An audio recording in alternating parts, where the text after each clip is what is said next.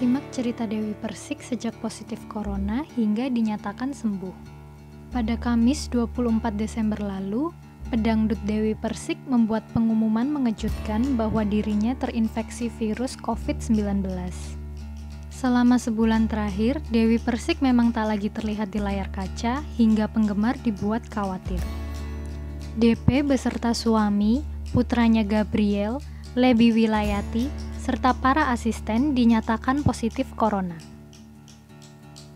DP mengungkapkan sejumlah gejala yang dialaminya, seperti tidak enak badan, sesak napas, hingga ruam merah di wajah dan tubuhnya.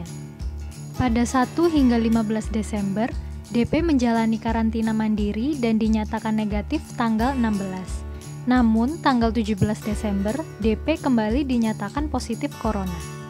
DP merasa tak bakal terpapar corona lantaran rajin beribadah dan selalu menjaga kebersihan.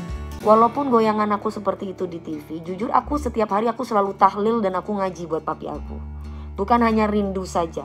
Makanya aku sempat sesumbar bahwa aku adalah orang yang suka berzikir. Jadi nggak mungkin banget aku kena covid. Tapi ternyata sesumbar itu kena sendiri di diri aku. Dan DP aku... serta lima anggota keluarga yang lain telah sembuh. Namun, Lebi dan seorang asisten DP masih harus berjuang melawan virus corona. DP sudah kembali terlihat mengisi acara pagi-pagi ambiar. Menurut DP, doa sang ibunda memegang peranan penting dalam kesembuhannya.